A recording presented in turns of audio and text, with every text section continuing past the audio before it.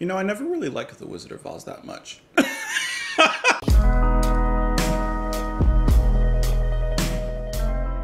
What's up, guys? Welcome back to the channel. I hope that you're having an absolutely lovely day. Thank you so much for being here, for clicking on this video. Hopefully you enjoy watching it as well.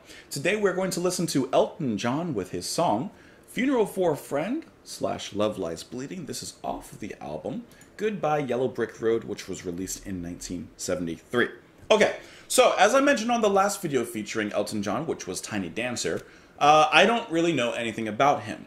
Now, that video absolutely took off, and you guys came in with an abundance of different recommendations and places for me to start and songs for me to listen to. Uh, so, first of all, thank you for that because I know, as as silly as it may sound, it's just not what I grew up around, and I don't. I always knew about him. You know, I kind of always knew kind of what he looked like and that he played piano. But as far as I know and knew, I never really listened to him and I never really recognized any of his songs. So, among your requests, you would also put like certain songs that you're pretty sure that I've heard and stuff. And I had absolutely no idea. There's two songs, at least, uh, that I definitely recognize when you guys put them in the comments. One, I didn't know that he uh, he sang uh, on Lion King. So, while it may not be like an album or a song from an album, it's a soundtrack really for a movie. Okay, so I've heard at least that, right? But then some of you had recommended Benny of the Jets. I I absolutely know that song. I love that song. but I, I guess it never occurred to me to look at who performed it. I just I just like the song. So that is Elton John. Okay, so I know at least something. it's a starting place. It's a seed. And uh, Benny and the Jets is actually the third track on the album. I see. So that's actually perfect. So, like I said, a ton of you had recommended this track, which I originally thought was two tracks, but it seems to just be one. So we're gonna go ahead and give it a listen, give it a whirl, and see what what comes out on the other end. I hope that you enjoy the video. Let's go ahead and listen. This is Elton John with "Funeral for a Friend" and "Love Lies Bleeding."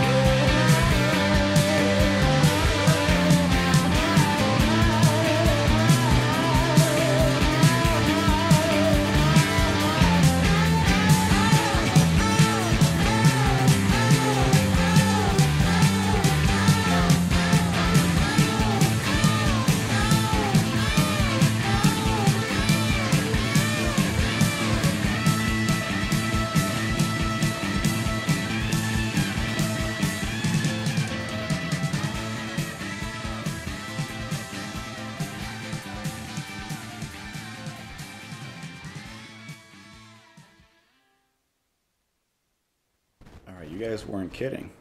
You guys weren't kidding. I think on the previous video we had done, I had said something along the lines of, um, "How deep do Elton John's pockets go?" All right. Well, you guys reached in. You you you reached into the deepest of his pockets and you pulled this track out. Okay, so Elton John has some deep pockets. this was this is good. This was very very good. Good is not uh, the greatest word to describe how I felt about this one, but this was really really fun to listen to. Great opening. Was not expecting so much synth overture in the opening of it. I mean, it sets you up very very well. Okay, some of it sounded maybe it's just because it's synths and that it was that kind of opening, but some of it reminded me of Jean-Michel Jarre right? Just the like spacey, epic, opera-ish kind of sound you get here. Like that's a great opening. You know, that is a beautiful opening, starting you in the stars, starting you off in the cosmos, and then eventually we're going to bring you back down to Earth as it moves into the second half. Um, Love Lies Bleeding. Woo! And then the tracks even maintain a symmetry because I do see here that I guess the tracks were really two different, um, basically songs that they kind of put together. It says that this the first is "Funeral for a Friend," and then it kind of segues into "Love Lies Lies Bleeding." But they do work really well together, especially with the carryover of the synths, as the first section is so synth heavy. Um, of course, it switches into piano at one point as well, just to kind of simplify things. Right here, you know it brings it down into a much more melancholy role. And yet, even in this, you still have the echoes of the synth there in the back. But now it's just changed a little bit here. And this does carry a certain kind of sadness with it. But this is so cool to hear. Uh, like I said, as someone who's not familiar with Elton John, it's really cool to hear him. First of all, to hear him, but to hear him making and creating music like this because and I guess in the back of my head I've always thought of him as just like a, a big old pop artist. You know, not really knowing really what he does. You know, it's just kind of an assumption. And now that I've slowly, little by little, exposed myself to him, I see that there's that that would be that would be absolutely dismissing what he's creating because this is like this is good. The castanets in there.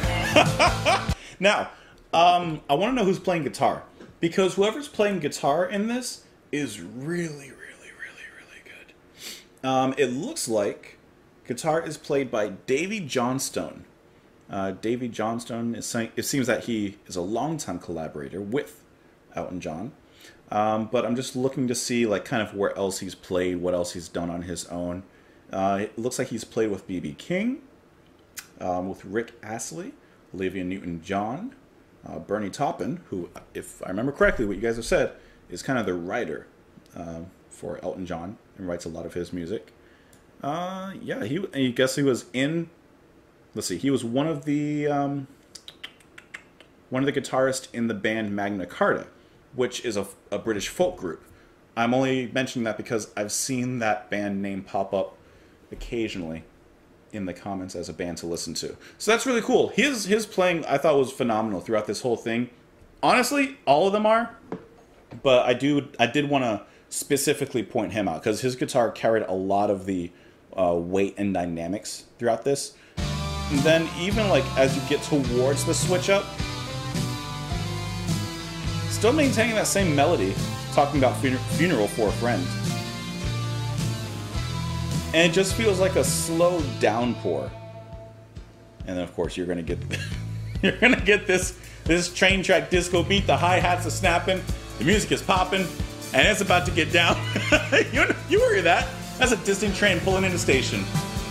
Oh yeah, piano blissing it up, synth lines. You get that bass rip. That's good. That's good. And then, like I said, it moves into Love Lies Bleeding, and that's where we get into kind of the main meat of the track. And Elton sounds fantastic, I think. He sounds really, really good, very convincing. He gets towards the end, it builds intensity as it should, as it's appropriate, as we're getting towards the peak of the song. And I mean, he hits all the right notes with the right uh, with the right elegance, with the right excellence, and with the right emotions. Uh, you also have, uh, just because I happen to see it, and I know this is like, this is me kind of fanboying, but in a in a different way. I also see that Elton John plays the mellotron in uh, tracks five, six, and eleven. Is track number five Benny and the Jets? Hold on. No, that's three. Okay, I thought he played Mellotron in Benny and the Jets. I'm like, I don't remember hearing Mellotron in there. All right, I know it's a small thing, but just just seeing the word, the instrument Mellotron, it doesn't take much to convince me. Okay, Uh, when it comes to the Mellotron, I'm an easy guy. There's not much convincing necessary. But yeah, these, these were fantastic. This is good. And it's it's catchy, it's poppy, but it's filled still with sleek instrumental. Like it gets the point across, it moves well. It's it, you could sing it along, but at the same time, there's a lot of depth going on in it. You know, at least I think so. I would love to know what you guys thought of it, though. But thank you for recommending this one. This was a very very good track to start off with uh, here on this album, at least. I'm not I'm not uh, promising myself to any specific albums. I'm just kind of following your recommendations, but you never know. You really never know. Uh, so let me see. I'm just reading some of the notes here. It says that the grandiose introduction to Funeral for a Friend was performed on an ARP synthesizer. Okay. Uh, you probably can't, well, I know you can't hear me, but I did mouth ARP at one point because I recognized certain sounds from it. Uh, it says that it's overdubbed track after track of music and synthetic atmosphere, of course. Yeah. And that's really nice the way it layers upon each other and one another. Now, you know, some of you have seen Elton John live and he performed this song, and I bet you after that night, you tell me, you tell me, I bet you after that night, your throat was hurting and your lungs were a little burning because you were screaming and singing your heart out listening to that. Let's go ahead and get into the lyrics here. First for Love Lies Bleeding. Did I say forced? the roses in the window box have tilted to one side. Everything about this house was born to grow and die. What doesn't seem like a year ago to this very day, you said, I'm sorry, honey, if I don't change the pace, I can't face another day. Hmm. So she left you. they, left you. At first, I thought Love Lies Bleeding was was about death, maybe because of the previous instrumental, Funeral for a Friend. But no, no, they're gone. And Love Lies Bleeding in my hands. Oh, it kills me to think of you with another man. I was playing rock and roll and you were just a fan, but my guitar couldn't hold you, so I split the band. Love lies bleeding in my hands. My guitar couldn't hold you. My music couldn't couldn't either hold you emotionally because they it says that they were a fan, so of course the music is probably what captured them first. But then perhaps I don't know. Perhaps the music couldn't. Uh, my my guitar couldn't hold you, so I split the band. I wasn't making enough money, so I couldn't support you. Maybe I don't know. Um, let's see. I wonder if those changes have left a scar on you, like all the burning hoops of fire that you and I passed through. You're a bluebird on a telegraph line. I hope you're happy now. Well, if the wind of change comes down your way, girl, you'll make it back somehow. And he just goes on to repeat the chorus as well. Love is bleeding in his hands, and there's nothing he can quite do to stop it. I like how he mentions like all the burning hoops of fire that you and I passed through. We went to, through so much just to be together. We jumped through all these hoops well, I hope you're happy now. And he says, if the wind of change ever blows your way, hey, you may, you'll make it back somehow, you know? so thank you guys so much for the recommendation. I do hope that you enjoyed the video and, of course, the music first and foremost. The music, if you did, you can, of course, like the video. You can subscribe to the channel. You can do so many, so many things. You can support the channel Patreon. You can follow me and watch movie reactions on Just JP. There's not a lot there right now. But there, we'll eventually put some more. Hope you have a great day. Thank you for being here. I'll see you tomorrow. Bye.